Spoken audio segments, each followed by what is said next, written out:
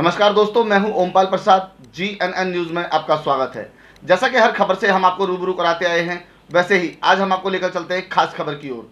इससे पहले हम आपको बता दें जी एन एन न्यूज़ अगर आप यूट्यूब पर देख रहे हैं तो लाइक करना सब्सक्राइब करना बेल आइकन बजाना ना भूलें ताकि हर खबर से आप रह सकें अपडेट दिल्ली में क्राइम है कि थमने का नाम ही नहीं लेता।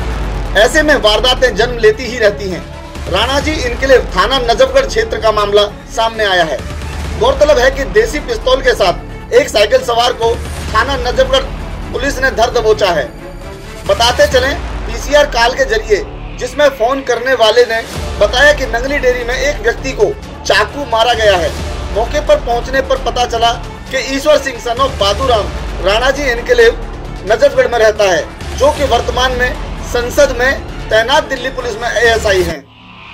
उसने अपनी गली में दो संदिग्ध व्यक्तियों को देखा और उसने उनसे जैसे ही पूछताछ की तो दोनों संदिग्ध व्यक्ति साइकिल लेकर भागने लगे।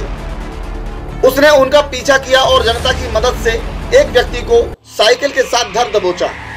उसके बैग की जाँच करने पर एक देसी पिस्तौल, एक ज़िंदा कारतूस टूटे हुए ताले में इस्तेमाल किए जाने वाले विभिन्न उपकरण पाए गए।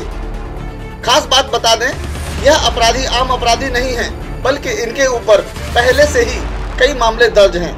थाना मायापुरी, थाना दावड़ी और थाना दिल्ली कैंट में भी मुकदमा दर्ज हो चुके हैं। और अब थाना नजफगढ़ दिल्ली में भी मुकदमा दर्ज हो चुका है। जी एन एन न्यूज़ के लिए ब्यूरो रिपोर्ट। देश और दुनिया से जुड़े रहने के लिए देखते रहिए जी एन एन न्यूज़ और अब हमें दीजिए इजाज़त।